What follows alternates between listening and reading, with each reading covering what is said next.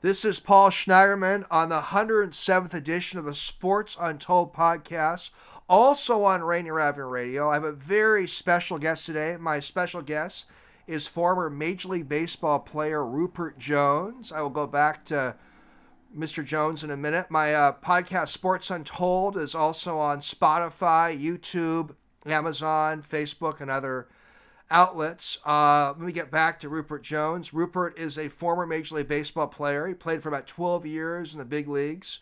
Uh, Two time All Star, an original 1977 Seattle Mariners member. Uh, I believe Ruppert was the first player selected by the Mariners in the 76 expansion draft. Uh, Ruppert was also a member of the 1984 Detroit Tigers World Series team. Uh, Ruppert has a new book out. We're definitely going to talk about today. Never give up. Um, Ruppert went through a traumatic brain injury, and he shares some of those experiences in his new book, which I'm excited to read very soon. Uh, well, Ruppert, I really appreciate you coming on Sports Untold, also on Rainier Avenue Radio. Thank you very much for having me, Paul. It's a real pleasure. So I want to I mentioned this to you off the air before we began, and I was with a very a couple of close friends at a Seattle Kraken hockey game um, a week or so ago, and the the the Kraken have a goaltender named Philipp Grubauer and when Grubauer saves a goal, the Kraken fans yell, Grub, Grub, Grub. And one of my good friends, Will, said it reminds me so much in the, the late 70s when Mariners fans chanted, Roop, Roop, Roop. And I said to myself, oh my gosh, I got to get Ruppert Jones on my show. So thanks so much for doing this. Well, thank you for asking. Again, I, uh, it's, it's a pleasure to be here. Well, is Groovy is, is any good? He's good goaltender. He's good. I, I don't know a lot about hockey, but he was a goaltender for the Washington Capitals, I, I believe, and then we brought him into Seattle. So um, he's pretty good. But it's just kind of the, the memory my friend had and that rekindled with me of um, uh, a, little similarity when people chanted your name when they when they played. How many how many years ago has that been? 40, 44 years ago? 45, 44 years ago? Well, I yeah, but so many fans remember you well with the Mariners. I was a six, seven year old kid, and you were like one of my first introductions to Major League Baseball, Ruppert. So a lot of people my era, we remember you well, and and uh, you you still have a lot of uh, admirers in Seattle. Well, thank you very much again, and uh, you know, it's always good to have people who still remember you, especially after 44 years. I know it. We're the original Mariners. It's it's it's it's a uh, it's a, dis- a, distinction that you'll always have. Well, I want to ask you the first question. Why don't you just kind of tell us how you got the baseball bug? How, as a young man, kid growing up, how, how did the, the sport of baseball become such a big part of your life? Well, as a kid, I, I played baseball uh, in my neighborhood in Tyler, Texas. I was the youngest kid in the neighborhood. I played with guys that was two, three, four years older than I was. So can you imagine? I'm a seven, eight year old kid playing with 12 and 13 year olds. I held my own pretty good, and uh, I got better. And but I left, I left, I left Texas in '67 when I was 12, and I moved to California. And I didn't play baseball the first year in California, but the following year I played baseball in California and in California at the time, basketball was was a popular sport, and uh, my school didn't have a baseball team, so I played basketball. I started enjoying basketball, and I started I kind of like made basketball my top priority, and I put baseball on the back burner. As a matter of fact, I stopped playing football also because they you know they didn't have football until I got to be a freshman. And I played football as a freshman, but then again, after that, I didn't play anymore. But I always played summer summer baseball, and uh, I think the talent, the, the my athleticism from the other sports, kind of like propelled me to be a little better baseball player than I than I originally than I was at one time. So I got better and better, and eventually, when it became time for me to make a decision, when I got out of high school, what I wanted to do, I got drafted by the Mar- I mean, I got drafted by the Kansas City Royals in the third round, and that was a no-brainer for me. I went to the minor leagues for Kansas City, started playing baseball with Kansas City Royals. Great journey that when you're a young kid at seven, eight years old, playing with kids a lot older than you and holding your own. So I, you were uh, already a future major league player at that time. Can you tell us um, what it was like when you got your first call up to the major leagues? Well, it was July, the last day of July. They, uh, I came to the ballpark and manager Billy, uh, and there, I came to the ballpark and everybody's looking at me. And I said, something's up. And they said, yeah, manager Billy Gordon wants to see you. So I walked into the manager's office kind of reluctantly. And uh, we sat down and talked. And he said, you know, we had problems last year. He said, but you told me in spring training that, you know, your problems was, you know, you were you were injured and you couldn't play as well. He said, and you told me what you was going to do, and you did it. He said, I'm here to tell you right now, you did everything that, that you said you was going to do, and actually you did more. Consequently, the Kansas City Royals want you in Kansas City tomorrow. So I didn't play that night. I had to go home and pack and and uh, and find a way and get to Kansas City the next day. And uh, next day I, I pull into Kansas City and I'm in the starting lineup against Gaylord Perry. You were a young guy uh, facing off against a famous pitcher. Yes, Gaylord Perry was my first game. You bring up Gaylord Perry, I, am just going to fast forward because I had this question for you later in the interview. I, will ask it now. Um, who who was the toughest pitcher you faced in your 11 or 12 years that you played in the major leagues, Ruppert? Frank Tanana. When I first came up in 1977, Frank Tanana was was best pitcher I've ever seen. You know, he was left-handed and he threw from the side, and basically he had three pitches he could throw for strikes. He had three power pitches you know, which is unusual. Some guys have one power pitches. Some guys might have two. He had three. He had a changeup, he had a curveball, and he had a fastball, and he could throw them all for strikes. And uh, he threw mid 90s to upper 90s as far as velocity was concerned, which you know, basically you you, you had to kind of like sit on the pitch versus trying to hit what he threw up there. He was a real talent pitcher. You know, Frank Tanana is a name, Ruppert, who was a great pitcher. I don't think he's in the Hall of Fame, though, is he? He's not. He's not. Uh, when he hurt his arm and he, he, didn't throw as hard, he still was a productive pitcher because he knew how to pitch. See, that was what, that was what that was one of the things. When he had his good stuff, he knew how to pitch. Well, when he lost his good stuff, he still knew how to pitch. And I think Frank won about 240 games in the big leagues. That's a great name for the past. A reason why it's fun to talk to a gentleman like you that played when I was growing up in the 70s and 80s to hear a name like Frank Tanana. He had a he was a pretty wicked pitcher. That's a that's a great name. Put it this way, he had a lot of left-handers around the league that when the Frank Tanana pitched, they didn't play that game. We used to call it Tananaitis. Tananaitis. That's a great term. Um, and who was the greatest hitter you saw, Ruppert, in your in your years playing in Major League Baseball in the 70s and 80s? Well, I tell people, you know, as far as hitters are concerned, I thought Al Oliver and Julio Franco was two of the best hitters I've ever seen, because those gentlemen hit the ball hard all the time. They didn't hit, you know, they didn't hit a lot of home runs, but they hit the ball hard all the time. You know, if they, if they go to plate four times, they hit the ball hard two, three times a game, and they may not get a hit but they hit the ball hard all the time. Al Oliver and Julio Franco. Those are great players. I don't think either of those guys in the Hall of Fame either. Either uh, are they? Neither one of them are. And Al, Al, and Al would tell you he was a good hitter. you know, Al would tell you he's a good hitter because he and he was a darn good hitter. He was a good player. He, he, he was like a career 300 hitter, I think, wasn't he, Al Oliver? Yeah. If he wasn't, he was close. Close, close. This is Paul Schneiderman, host of the Sports Untold podcast, also on Rainier Avenue Radio with Mariners legend Ruppert Jones. And I encourage people on Facebook to like the interview and ask some questions. We're, happy to get some, some audience questions in today. So, what was it like uh, playing for the 77 expansion Mariners? Did you like playing for an expansion team then, Ruppert, back in 77? Well, I was a 22 year old kid. I was with the Kansas City Royals and I wasn't going anywhere. I wasn't going to play. I I got picked up in the expansion draft, and all of a sudden I become a major league everyday major league baseball player. So I really enjoyed uh, the Mariners. The Mariners gave me my uh, the best opportunity that I that, that I that, that, I could ask for, and that's to play in the big leagues and show everybody that I belong. And uh, so I embraced Seattle. I really enjoyed Seattle the three years I was there. What do you think the old Kingdome? It, it, was very criticized, the baseball park. What, what were your experiences playing the Kingdome, Ruppert? Why was it criticized?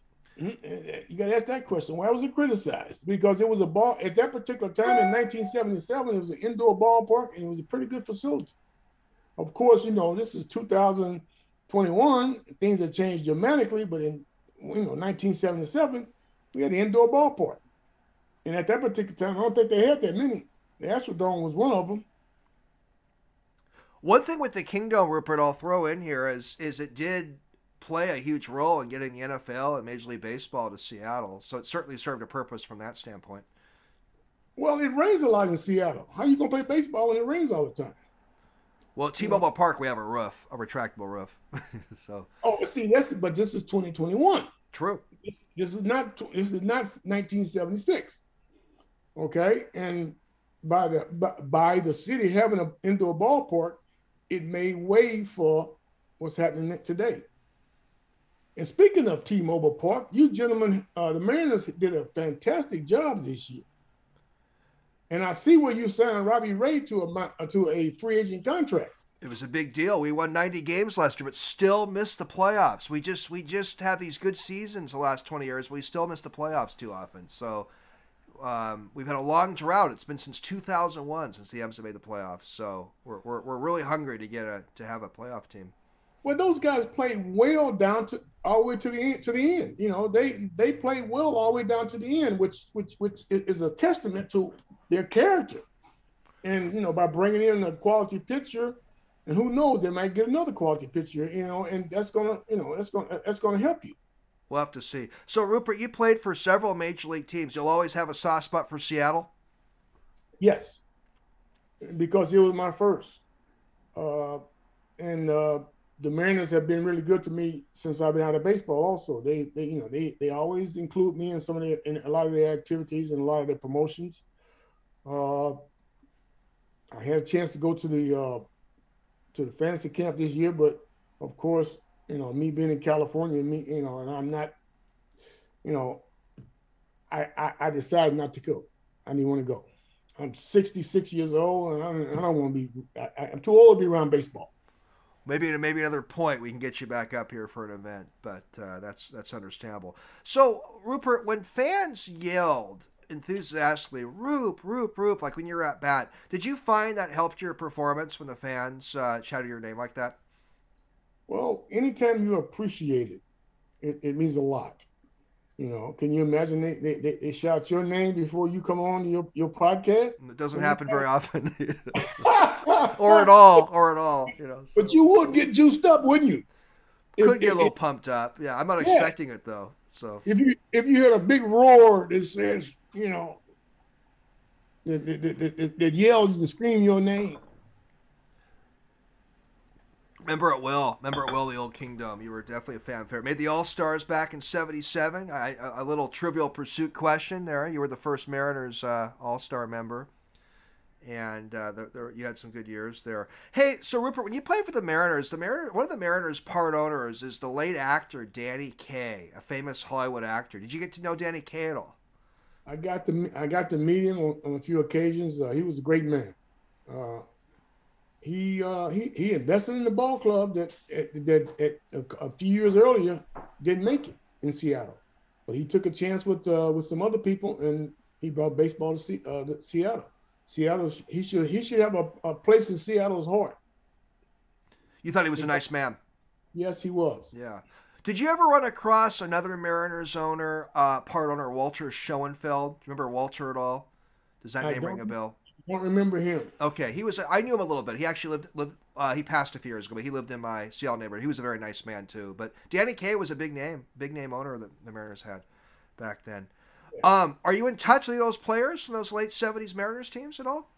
I, basically, when I came home from baseball, I kind of like came home and, and you know, and and I, I, I got a different life and I, I, I didn't really keep in keep in contact with baseball. I lost my contact with baseball altogether. Uh, I was a single dad for a long time, taking care of two kids, and uh, I just baseball was not was not something that I gravitated back toward. I, I had an opportunity to get back in the game as, as a as a, as a minor league coach, but I decided not to. Chapter in your life, and there's new chapters in our lives, aren't there? Yes, there are. And chances are, if I'd have got back into baseball, I might not have been what I am today. All Not sorts, all sorts of ways of looking at life decisions. Yes. Uh, if I can pick your brain for a minute, Ruppert, do you have any thoughts at all on the uh, Major League Baseball lockout situation? Any any thoughts on how the owners and players can maybe come to an agreement at all? I, I, I don't follow baseball enough to be educated on the, on the issues that are separating them. What are the issues that are separating? Well, my understanding, there's some issues with uh, maybe getting the Players Association wants to get younger players paid more. I think they want to change some of the arbitration rules, just things like that. That's what I've been reading. So, um, Get the younger pay, get the younger players paid more, paid paid more, or quicker. I think that's part of it, getting them paid. When I, I think I think the free I think the union wants to liberalize the free agency rules. You know, I think that, I think that uh, oh, just a whole whole combination of issues. I think the universal DH is coming up as well. You know, I, there's uh, there's talk about that in the collective bargaining. So I'm just skimming, just based on what I'm reading. So How do you feel, how do you feel about how do you feel about the universal DH?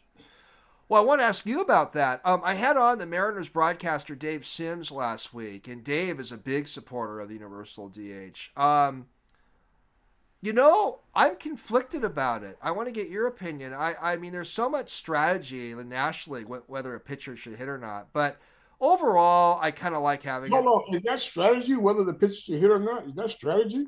They're gonna pitch five, six innings anyway. Okay, so consequently, you're not gonna have decisions that, that that's gonna be monumental.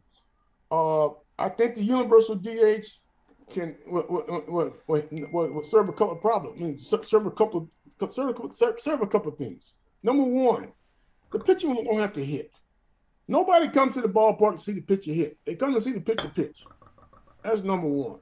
Number two, you get you keep you, you know you you you lower the chances of your pitcher getting hurt trying to hit or trying to run the base. It's a good point. Again, I want my pitcher to get hurt pitching. I don't want to get him hurt hitting or running the bases because I don't pay him to hit and run the bases. Number three, a lot a lot of those designated hitter jobs, good veteran players fill those fill those slots. So you you know you may see a little you may see a, a good veteran ball player a little longer play a little longer or or or or, or, or, or, or is back into the game. Okay. Or you can use the DH in, in, in so many different ways. But to have one league have a DH, and another league not have a DH. The American League teams are always going to be at a disadvantage if the if, if the National League doesn't have DH because they mean the American League pitchers got a hit when they play and play in National League ballparks. All excellent points. And you played the game, and you know the game well too. So those are. You ask the guy, or you got a superstar pitcher, he don't he don't hit, and all of a sudden he got to go to home plate and hit. Okay, he don't run the bases. All of a sudden he has to run the bases, so he has to be another kind of a, a, a a player. Now some a lot of National League pitchers, yeah, they're used to it, so you know they're more acclimated. What if there was a rule, Ruppert? I'm just brain, having fun brainstorming with you. Paul Schneiderman, a Sports Untold podcast, or Radio Radio with, with uh, baseball legend Ruppert Jones. I'm just brainstorming with you, Ruppert. What if there was a rule where if a team had a good a pitcher who could hit well, like Steve Carlton was a pretty good hitting pitcher, where they could maybe DH the shortstop or DH the catcher? Would you support a rule like that, where if a, where if a team wanted to have the pitcher hit, they could have the pitcher hit? Well, if if the pitcher's a good hitter, they can just put him in the lineup. When he, you know, they can just put like Ohtani. I'm sure Ohtani would be would, would, be a, a, a, a hitter and a player when he pitches. But what happens when he come out the game? You lose your DH. Right. I just thought of Ohtani. You read my mind. So Yeah. He, But he's- he, you know, he's proven that he can do both of them. And when he pitches, yeah, he hits. He still hits. That's fine and dandy. But when he comes out the game, you lose your DH. all your points are valid. Ohtani, he has to be one of the uh, the most colorful and, and great players ever. I mean, just what he can do. He's a pretty incredible guy, isn't he? He's a fantastic player. Do you think he's the MVP of the American League? Um, there may be a good argument for it. He's so multi-dimensional. Who won the MVP, by the way? He won it, didn't he? I think Ohtani won. I have to check. I may have to Google that in a second. But he, he was Trout was injured a lot last year. I think. What place were the Angels in? Uh, they were towards the bottom of the AL West last year, weren't they? Yes. So, in other words, a most valuable player is a player that is that's valuable. Okay, to me, uh, he's valuable. A, a, a, a, a player who who's on a fourth place team, they could have came in fourth place without him. Do you think that uh, Toronto could have competed all year with, with, with, with without Vladimir Guerrero? Lots, lots of stuff there. You bring up a you bring up an interesting point how to define the most valuable player too, Ruppert. I, I see where you're going, and, and if, if someone is on a last place team, are they really the most valuable player in the league? Is that part of your point? He's on a last place team. The team could have came in last place without his numbers. Okay, I'm gonna play devil's advocate. Maybe they could have been 15 games worse without him. so. They still in last place. True, true. True. Okay, 15 games worse, whatever. They're still in the last place. Now, a player of the year, okay. But the most valuable players, it, it, should be a, a, a, player who's on a winning team should get rewarded. I think that's a great point for all sports leagues that you just brought yeah. up. Yeah. So if some guy's averaging 35 points a game for an NBA team that wins 25 games, you know, I, I get where your where your point is, you know. So well, eh, you know, can he add twenty? Can he add thirty-five points for a first place team? He has to make the you know he has to bring the team player up. Well, he played on a good bad team. I know that's not his fault, but it's not you. You can't penalize the guy who's on a good team because he's on a good team. You, you can't penalize him either. And his team probably couldn't win if he wasn't there producing you got me thinking. I'm going to ask some future guests that question about how to define the most valuable player. You, you, you, you're actually helping me create uh, a topic uh, for, for some future guests as well. So there's a lot there. Well, Ruppert, you have a new book out that I want to talk to you about called Never Give Up. And um, I want you to, to share it with the, with the listeners. And why don't you just tell us a little, bit, a little bit about the book and what, what your general message of your uh, biography, Never Give Up, is about? Well, I'm disappointed you didn't read the book. I haven't a chance to read it yet. I, I, I, can't wait to read it. I, I, I, I work as an attorney. I'm making an excuse. I I, I, I, I, did I did have a, I had an arbitration hearing all day yesterday. I'm making all these excuses. I haven't read your book yet, but I do want to read it. So I feel guilty though. So you have it. You uh, have it. I have not ordered it yet, but I fully intend to read it. I just haven't got to it yet. Um, okay. I, I, I feel bad. I'm, I'm probably letting you down, but I, I, I do encourage people to read your book, and I'm going to read it too. Uh, as a matter of fact, I got it.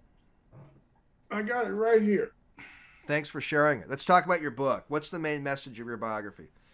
The main message of my biography. I uh, in 1980, I suffered a head injury while playing with the New York Yankees. I ran into a center field, to the left center field wall in Oakland, California. Uh, I was knocked unconscious and the trainer at the time was Gene Monahan. And uh, you know, unbeknownst to me, is I I stopped breathing. Wow.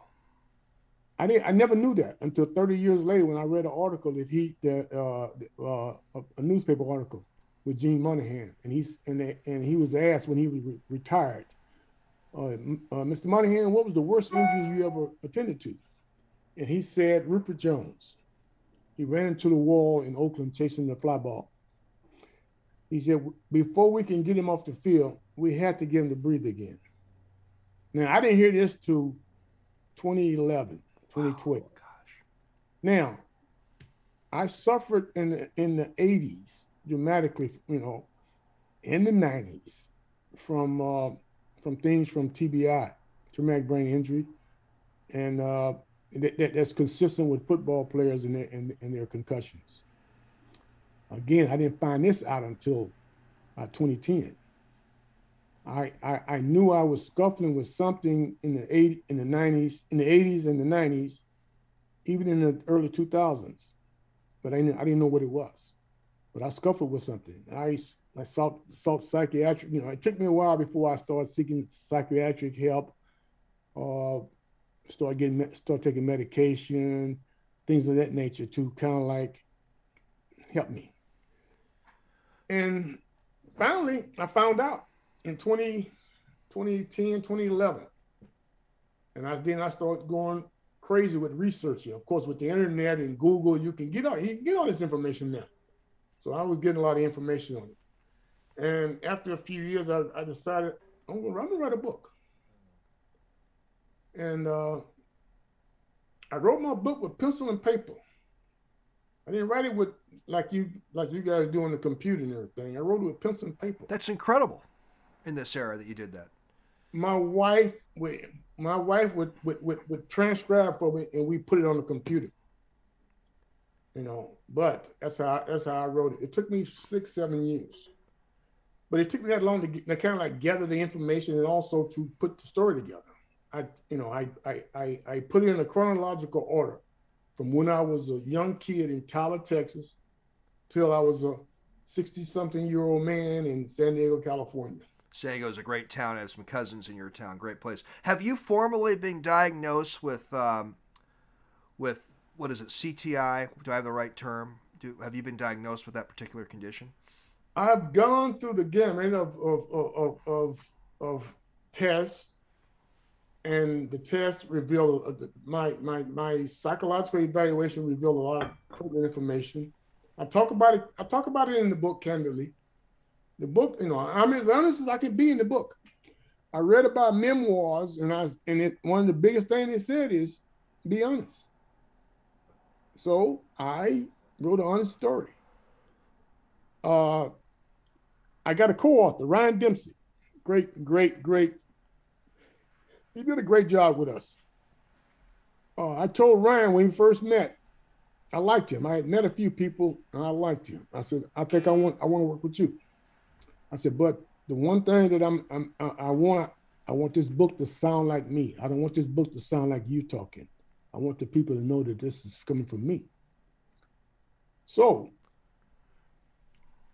he he said, okay. He looked at the book, he read it. He said, okay, I want you to go through it, rewrite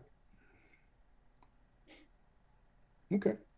So I went through it, rewrote it. I changed a few things. I added some, took some out, and I got a little bit more information from another source that was applicable. He read it and got together. He made his little changes. He said, okay, I want you to write it again. Well, we went through it again, and of course, we made some changes. And we gave it, got it, give it back to him. He went through it, made changes, kind of cleaned up the, you know, some grammar and everything. He said, "Okay, I want you to write it one more time." We wrote, we wrote, we rewrote it three times. It's a lot of work, Ruppert, putting your book together. It was worth it because new information kept coming to me, and new new insight. You know, my you know my memory ain't the best in the world, so new new new insight were coming to me, and new new new things was happening that I could add to the story, which was good. Know, I could add new you know some different things to it. Like in 2019, we we had our anniversary, uh, 35th anniversary for the Tigers baseball team. See, if I hadn't wrote it three times, I wouldn't have got to, I, I couldn't have got that much into the book and uh, the third time was the third time was the was was the Pierre you know was was it. Third time is a charm. I'm going to ask you in a few minutes about the '84 for Tigers World Series team. So you, it, it seems like you've made a lot of progress in recent years with your traumatic brain injury condition. Yes, as a matter of fact, subconsciously I was doing a lot of things that were that were that were good for my for my brain injury, but then I was able to do more once I learned, learned, learned, you know, learned more about it. I was able to do, to do more, which again helped me. And it also made me not, made me not be so self-conscious about my situation because before you think you're crazy, and you know, you know, you don't want people, you don't want to tell people, you, you, you know, you're crazy. But once you find out what's wrong with you, you, you, you get a better handle on the situation. Uh, when I first wrote the book, my title was going to be I Am Not Alone. Because of the mere fact that for so many years I felt alone. But my wife kept coming, she came up with a handle called hashtag never give up for my Twitter 2018. And I kept saying, you know, never give up is more appropriate title because I never, you know, I could have gave up. There were many, there were many times when I wanted to give up on life. I wanted to give up, but something kept me going. Something kept me going. I struggled. I, I struggled dramatically, and I talk about my struggles in the book. You know, I talk about my struggles. I talk about the good, the bad, and the ugly. You feel a lot more at peace. It seems like now, Ruppert. Than uh, yes, I am. Ago. Yes, I am. I'm at peace now. You know, for, I live with a lot of regret. I live with a lot of guilt because because a lot of things I've done. But after learning about my condition, my condition had a lot to do with that because my the, uh, my you know a lot of things that I did was was was was uh, compatible with a lot of things what people who have traumatic brain injuries what they would do, how they how how they behaved. What what kind of advice do you give people, Ruppert, who are going through uh, traumatic brain injury? You have, do you have any uh, general feedback you give people who are who have dealt with the condition that you've dealt with? Okay, when I first when I first suffered in the 80s and 90s, of course, I didn't know what I had. So of course you got a feeling of being alone. You got a feeling of not being want to tell people because you don't want to tell people that you're crazy at that particular time in the 80s and 90s. Well, this is the 2000, 2000, you know, 10 to 2020. Things are different. People are more tolerant of, of, of, of individuals now that have head injuries, that suffer from traumatic brain injuries. So that, you know, so consequently, they can seek help and they can seek treatment to make themselves better. I've talked to a lot of people that says, man, your book really helped me out a lot, you know, because I suffered from some of the things that you talked about. You know, and they, you know, they're able to seek help because now they're not afraid to. And that's so important. Ruppert, we hear a lot about the the traumatic brain injury issue in professional football. Uh, we don't hear about it as much in Major League Baseball. Do you think Major League Baseball is doing enough? And I include the Players Association as question. Is Major League Baseball doing enough to address the traumatic brain injury issue and players such as yourself who who have faced that uh, diagnosis? Well, it's not as prevalent in baseball though. See, I had a I had an accident where I ran into the wall and lost consciousness. You know, you don't see too many baseball players lose consciousness on the field. Justin Morneau did. He had problems with with, with, with, with he had problems with, vertigo and a couple other things. Okay, and his you know, and that's how I really I started really following, finding out things. That's because Justin Morneau slid into the second baseman's knee, and he was out of baseball for a long time. And I'm saying to myself, I ran into a wall. Maybe some of the things that I have experienced or, or I dealt with is in conjunction with this, you know, with, with, with that with that accident. Uh, Kirby Puckett, he got beamed in the, you know, he got beamed in the head. Of course, the eye. Well, that's the head. The brain is right there and I understand, I know I wrote a little bit about Kirby Puckett in the book that you might want, you know, that's that's there. I'm not going to tell you any more about it. Uh, Tony Conigliaro, another baseball player in the 60s, the great hitter with the Boston Red Sox, young kid. He got beamed, and his career took a dive.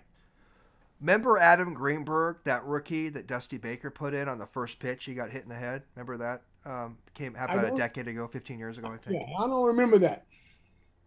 Yeah. Well, all right. What happened to him? I don't think he ever really was the same. I don't think he. I don't know if he ever played Major League Baseball. It was like the first pitch, and he got hit. Um, just got walloped by a, a, fastball and was out. It was very sad. Very sad. Um, Ruppert, in your book, what's the most impactful story you have about your Major League Baseball career? Was there any like one story that stands out that you really love sharing in your book? If I tell you my story, then you won't you won't buy the book. oh, I want to read it. I'm going to read it. I promise you, I'll read it. But okay, I got a story. Okay. 2012. I had been with my wife for 15 years. I told my wife about Nolan Ryan when we met in, in 1997. You know, we talked, you know, we was together, and I told her about Nolan Ryan. I said Nolan Ryan was a fierce competitor. He's one of the toughest pitchers that I've ever faced in my whole career and uh, I was telling him how you know how how how competitive he was. I said, when you face Nolan Ryan, your whole body is on is, is on alert. It's tingling. It's on alert because he could knock your he could punch your lights out at any time. Well, I met Nolan. We met in 2012. Fast forward, we was in Austin, Texas, at the airport. We see Nolan Ryan with his wife.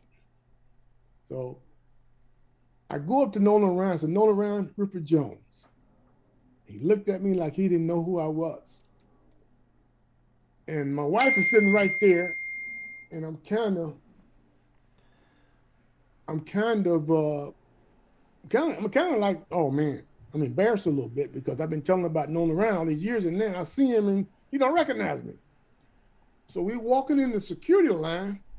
He came to me and said, "You hit a home run off me." I said, "That was 30 years ago. You still remember that?" He said, "Yeah," and I'm still mad about it. And uh, that was probably one of my best best stories because at that particular time I was kind of like coming out of the trend. You know, I was that, that's when I started putting my book together and I realized that, you know, hey, I was a pretty good player. Absolutely. A famous pitcher sure remembered you, Ruppert. So. Yes. He struck out 5,500 hitters. Okay. And then a few days later, I'm throwing out the first pitch in in in in, in at, uh, at uh it was it was Safeco at the time, and the Mariners are playing the Chicago White Sox. So I go out on the field and I talk to Chris Chambliss, the batting coach, Chris played for the Yankees, and I, I played against him in uh, you know in, in New York. I played against him when he was at the Braves, and uh, so we was talking. Harold Baines comes up. Great player. Yes, Harold Baines comes up and says, "Hey, Chris, he hit a ball out of Comiskey," and Chris Chris looked at me and said, "What?" He said, "Harold said he hit the ball out of Comiskey." I said, "That's right. You were there that night, wasn't you?" He said, "Yeah," and uh, and then uh, I, t- I told him what happened. I said, yeah. I said, I gave my Tom Seaver story then. Tom Seaver had broken about three or four of my bats prior to me facing him this particular time. I faced Tom Seaver in 1981. I hit a double the first time I faced him off the left center field wall. The next time up, he broke my bat with a cut fastball. I saw him again uh, at the same game, I think, he threw me, or, or another game, he threw me a cut fastball and broke a bat. So now, fast forward three years later, he's with the White Sox and I'm with the Tigers. And the first time up, he throws me that cut fastball and he breaks my back. So I come back to the dugout. Larry Herndon has a 35 35. It's a big bat. And it's bigger than the bat I got. I said, Larry, let me use your bat. He said, What you gonna do with it? I said, I'm gonna use it on Tom Seaver. He said, How you gonna use it? He gonna break this one too. I said, Larry, let me use the bat. So I had a bigger bat, and I go to the plate, and he throws that cut fastball. He didn't get it in close enough, and I hit it. And when I hit it, I said, Yes, I got him. And I looked up, and I said, That's going in the second deck. And then all of a sudden, the ball just disappeared into the night, left the whole ballpark fun stories. Hearing about Tom Seaver and Nolan Ryan, it's, it's just a lot of fun. Paul Schneiderman, host of the Sports Untold podcast, also on Rainier Avenue Radio, with baseball legend and an original Seattle Mariners member, Ruppert Jones. Ruppert, I asked these two questions to pretty much all my guests since about late 2019, and I get great answers. My first question for you is Who's a deceased sports figure in history you would have loved to have chatted with or interviewed? And who's a living sports figure that you would love to have a conversation or interview with? You know, I, I never met Hank Aaron.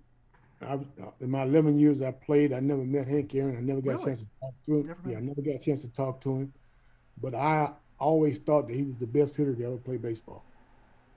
Okay, in my estimation, Hank Aaron is the best player, hitter to ever play baseball. And people would ask, say, well, how you say that? I said, all you got to do is look at the history books.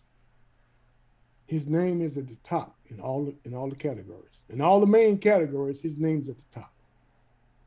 He's in the top five. No doubt.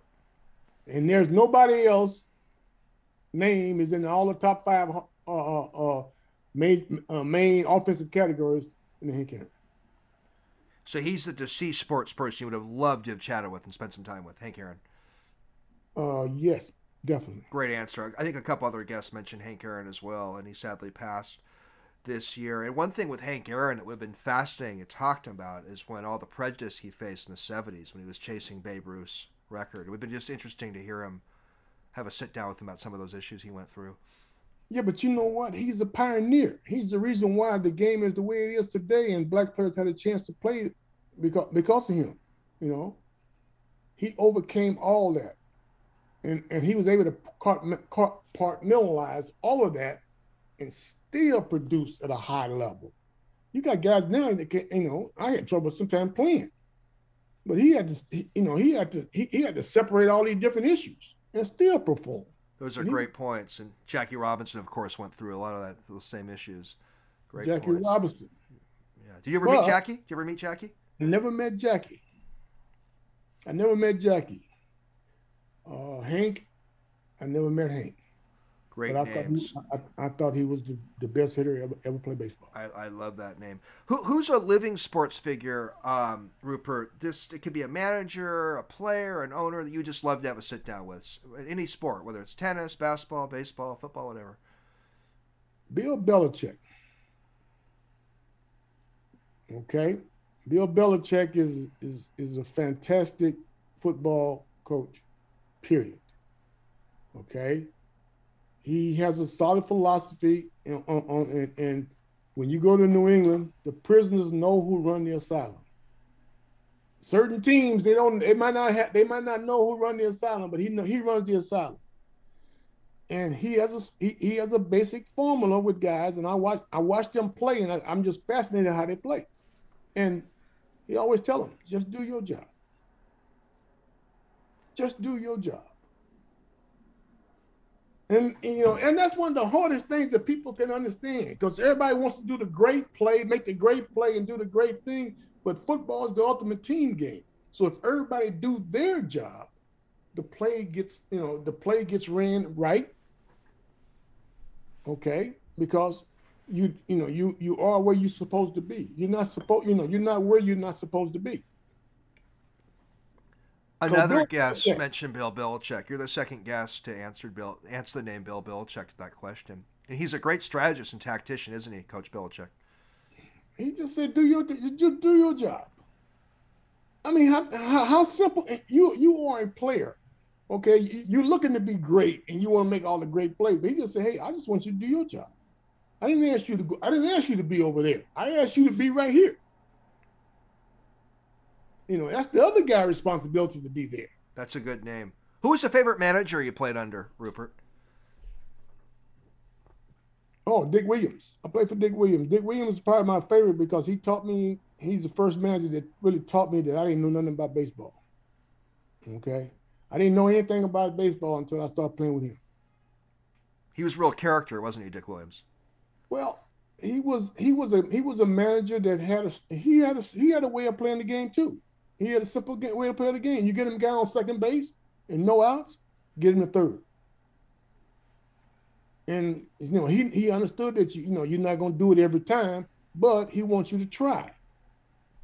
Okay? You got a man on third base and less than two outs, he wants you to get him in.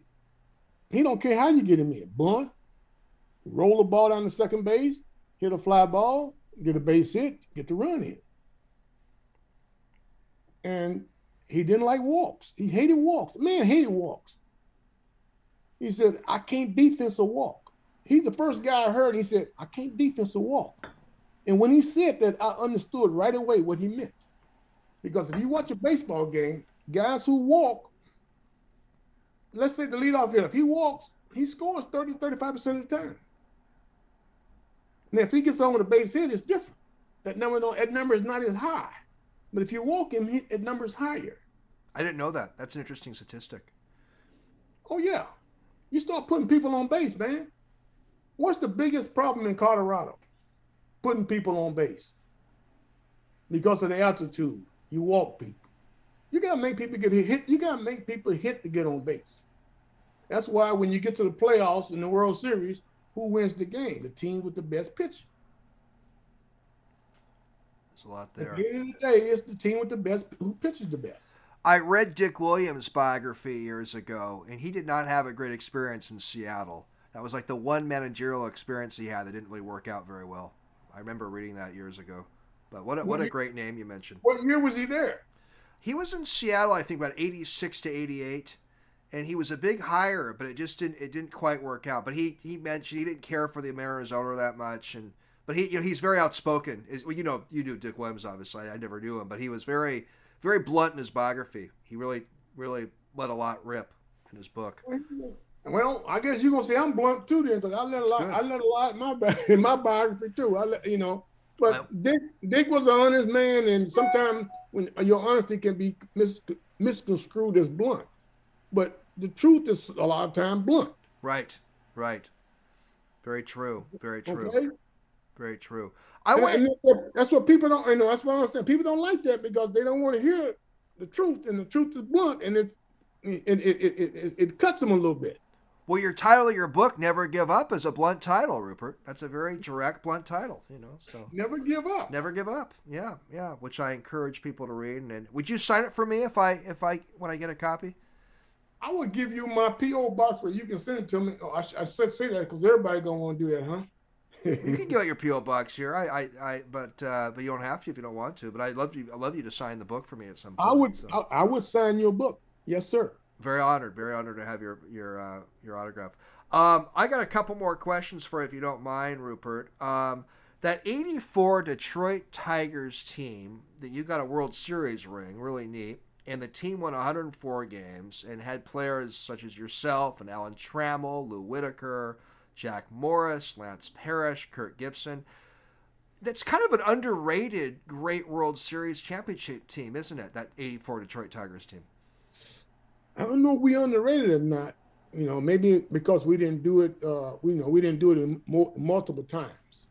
But in 1984, eh, we did something special. Uh, I can I, I I talk about this in the book. In 1984, I was a free agent, and uh, I got no offers to play baseball.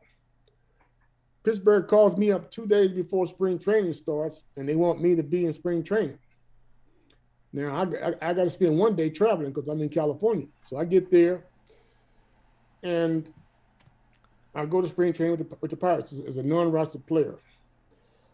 Now, as a non-roster player, I was playing A games and B games.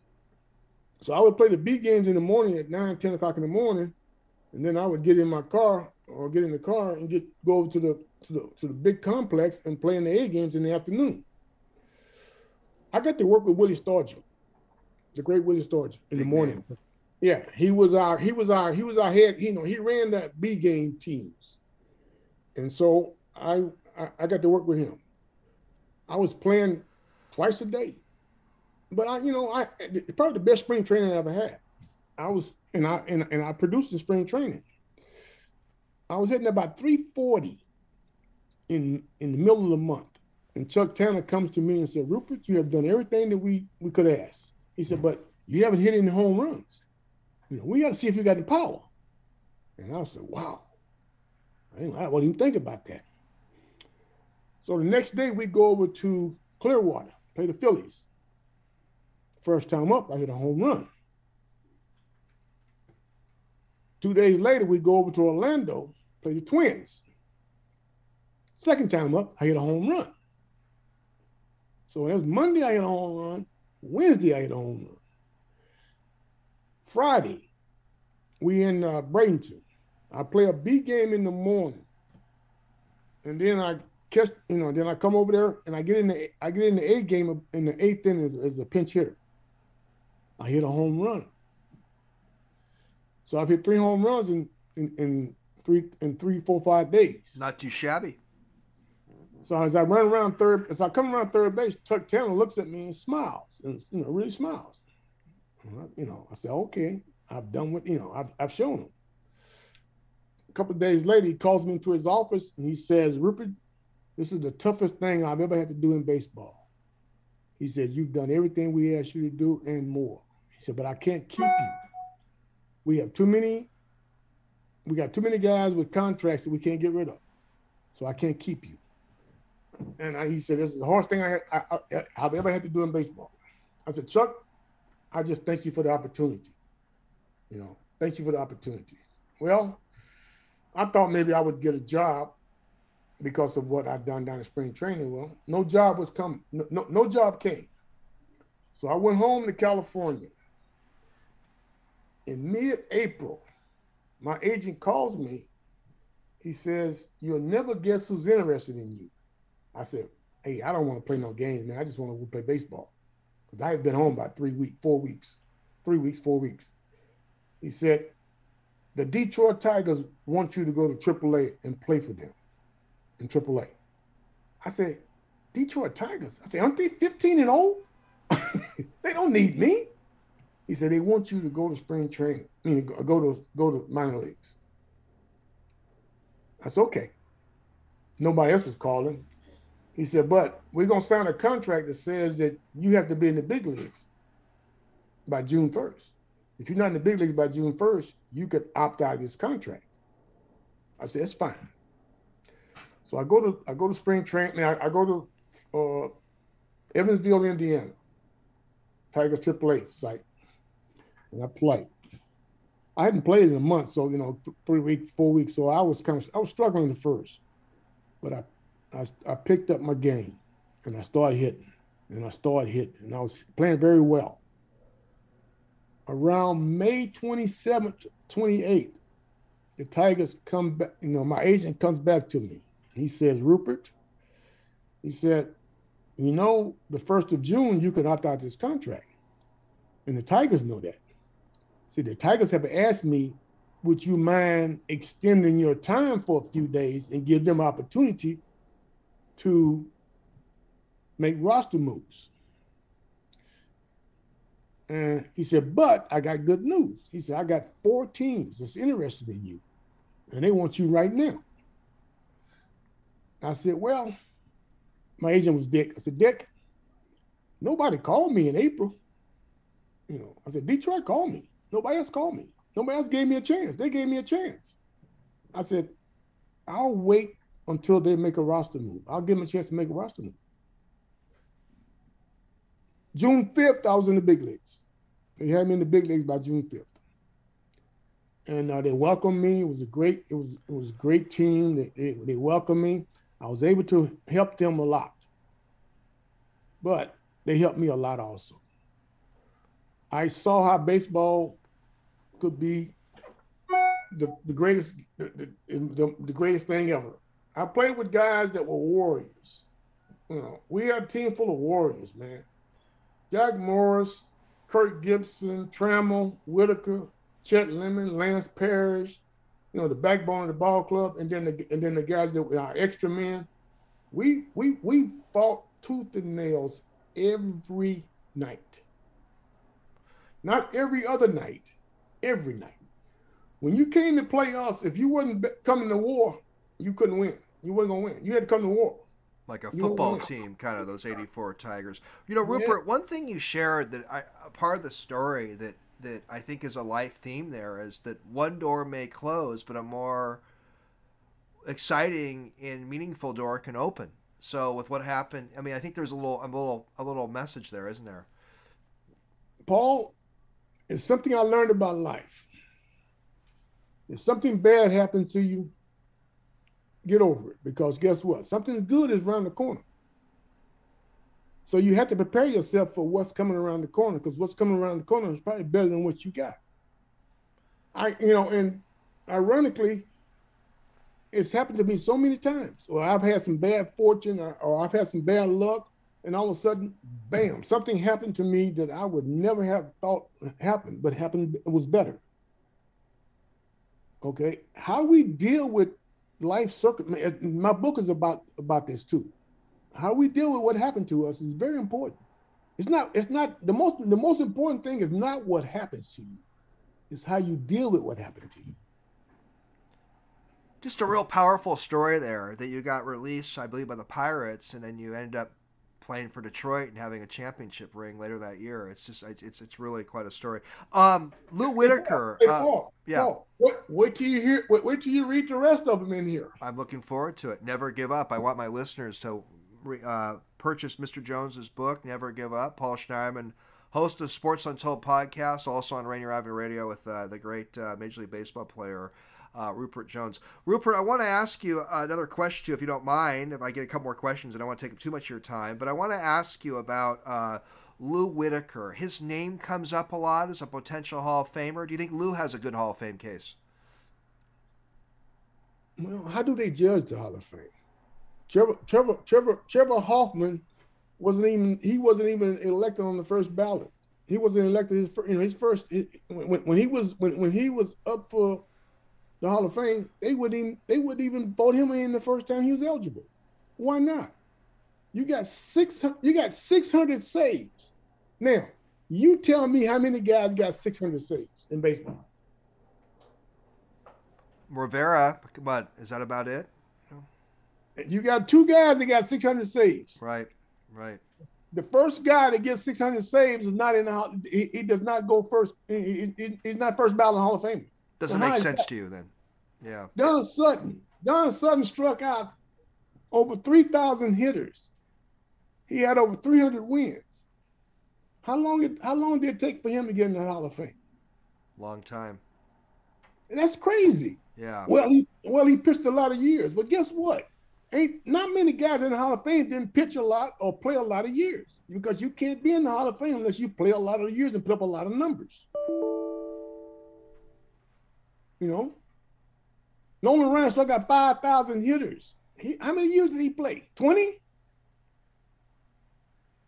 So I don't know what the criteria is it, it's very open ended, isn't it? How they how the writers evaluate. Plus, they have those veterans committees. I was talking to Dave Sims, the Mariners broadcaster, but we had some Hall of Fame talk recently, and I had Shannon Drayer on, another Mariners broadcaster, and we got some Hall of Fame talk in. But yeah, Lou Whitaker's name comes up as someone that a lot of people think has a good Hall of Fame case. Um, how many how, how, many years did it take for Edgar to get to the Hall of Fame? Like the tenth year, he finally got in. Right, right, right. One of the greatest, we talking about one of the greatest right hitters that you know to play in his in his era. Well, a lot of people don't like the DH. There was a bias a lot of the writers had, right? Wasn't that part of it? The writers they had to go out there and play. Yeah, I know. Guys like you that play know more about than the writers do. You know, so you know, you, all you gotta do is ask pitchers. Just ask pitchers. What was it like playing for Sparky Anderson? Sparky Anderson was a great manager, a great individual, great man. He ran that he, he ran that Tiger team as well as you can run a ball club. Okay, he was very consistent with his strategy and how he thought. You could think along with him. You know, when you when, when the game got to a certain situation, you knew your number, you knew you had an idea when your numbers would come up. You didn't have to guess where am I going. No, you knew you, you had an idea when your numbers gonna come up. So everybody on the bench was ready.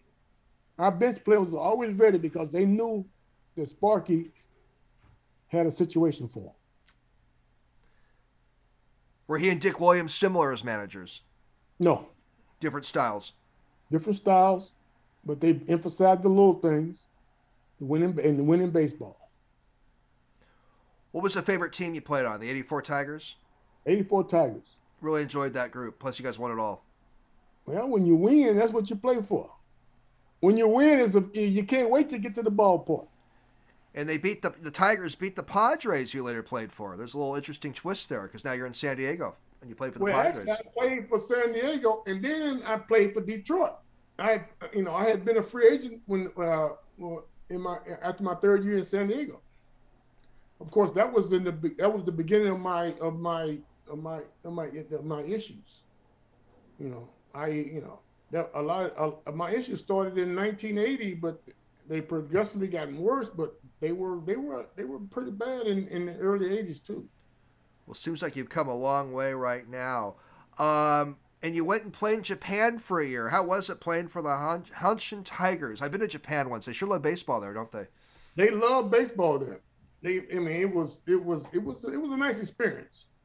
I was at, I was at the, I was at the end of my career. I was at the end of my career, and I was just playing for because I needed the money. And anytime you start playing for you because you need the money, it's, it's, it's really time to go. Uh, I was not having I was not having fun playing the game anymore. My production had just went down, and basically, I was I was really struggling at that particular time as far as my mental health was concerned. I was I was struggling mentally also. I was struggling mentally real bad. That was like the eighth year in, in into my into my uh, after my brain you know after my brain, initial brain injury. Challenging part of your life. Did you like the Japanese culture? Did you enjoy Did you enjoy exploring Japan at all when you were there? I I enjoyed myself in Japan. I enjoyed the Japanese culture. Uh, you know, what a little bit I that, that I got to observe. Uh, I would rec, you know, if anybody would, I would recommend anybody who, who, who, you know, who still wants to play baseball and they get opportunity to play Japan, go to Japan. Have the opportunity to play there. I was there five years ago on a University of Washington tour group, and um, one thing about Japan, Ruppert, I couldn't get over is how much pride they take in the food preparation, like the display of the food in Japan. They take so much pride in how they oftentimes uh, display the food, like with the sushi and those dishes. I, I noticed that when I was there. They, they, it, anyhow, but. Uh, but you know what? That it's, it's strange that you mentioned that. Uh, but uh, when I first got there, they would always have big meals before the game. I mean, right? You know, they take batting practice and then they come in and have meals. I said, man, how you guys gonna play? yeah. You know, it's hard never, to eat. It's hard to it's hard to do anything after a big meal sometimes. But but they, they fed you pretty well over there then. Yes, yes. And one of the things they they used to do is when you did something, like hit a home run, you come to your locker and you have an envelope full of money. Not too yeah. shabby. Yeah, they, they give you an envelope full of money. One night I hit a home run in center field and they gave me double the amount that I normally got. Normally got. Now I said, I asked one of the players. I said, "Well, I got more this time." He said, "Oh, you hit the center field. You get more home runs. You get more money when you hit the center field." Is that still going on? Do they still have that system where they, they, I, they... I don't know, but I know in '88 they did. That's pretty I said, neat. that a long time ago. I'd have been trying to hit in the center field all the time. That's a fun story. That's a great story. What's in the future for you, Ruppert? Well, this book, you know, I think this book is gonna is, is gonna continue to sell. I, you know, I'm selling. You know, I, am not selling at the pace I would like to, but I'm selling. I'm selling them all, all, all the same. And I just think the more people read it, the more they, un, you know, and, and, the more people that get a chance to look at it, it's going, it's, it's going to catch on because it's, it's a powerful story. It's a story. It's, it's, it's a story like no other story. Okay, and not just because I wrote it, but it's a story like like nothing. And to be honest, I never thought I could create something of this nature. When I tried to do this, started out, I didn't think that I was going to be as successful. You know, I was going to be as this, story is going to be as good as it is, and this story is really powerful. Well, you've lived a very interesting life, and it's just so much fun to have a chance to chat with you. I know a lot of the Seattle baseball fans are going to have fun uh, listening to this interview and, and, hearing some of your thoughts. And I, I really appreciate you coming on Sports Untold today. It's been a lot of fun. And I actually have a friend who I went to high school with. He he want, wants me to mention that people would sometimes chant my last name, but not the same way they chanted your name at baseball. Well, how did, oh, how did they chant your name? Well, last name is Schneiderman. I think people are always joking, like to joke around with me a lot. It was, it wasn't, it wasn't because I was any big deal at all. But, but I just got a, a, fun, a, a on Facebook. A friend of mine wanted to say that, uh, tell him about the Schneiderman chant. So I had, I had to mention that. So I'm a little embarrassed mentioning it, but.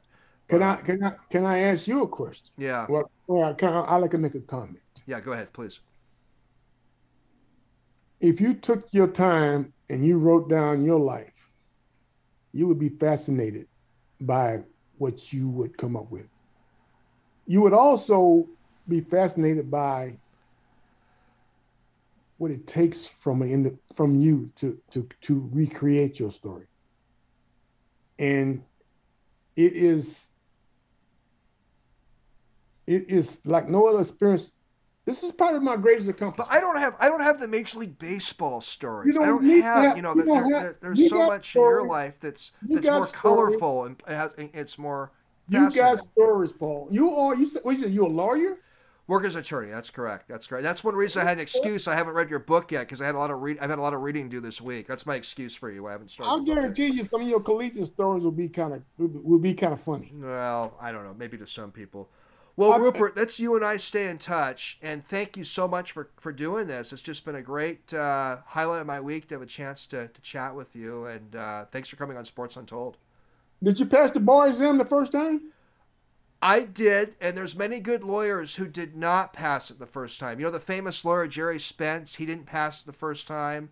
Uh, there's a lot of famous lawyers and very accomplished lawyers who didn't pass the bar the first time. I don't think it's the best indicator of law practice success, no, by the way.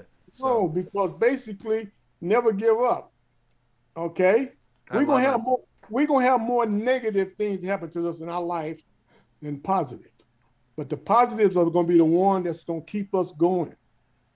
The positives are the one that we that we that we look for, we search for. I but love negative, how we can we can finish up here with "Never Give Up," the title of your of your new biography. I love the theme. I love the theme. Yes, so, sir. Great. Well, all the best, Ruppert, to you and your wife, and thank you for coming on Zoom. And uh, uh, let's stay in touch. Okay, Paul. Thanks, Ruppert. Take care, take care of yourself. You too. Stay safe. Thank you so much.